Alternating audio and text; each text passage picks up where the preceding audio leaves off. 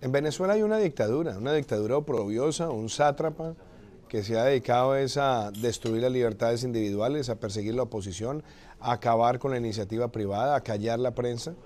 Y eso pues obviamente es lamentable, pero además de ser lamentable, ha traído consigo la crisis económica más severa de la historia de ese país, que a su vez trae una gran salida de ciudadanos buscando esperanza en otros lugares.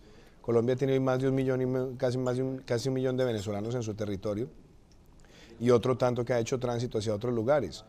Entonces, lo primero es que nosotros no podemos seguir teniendo un discurso indiferente frente a esa dictadura, como el que ha tenido la actual administración durante tantos años. Y yo voy a ser muy claro, voy a promover el retiro de Colombia de UNASUR. UNASUR es una institución que se ha convertido en una caja de resonancia de la dictadura de Venezuela.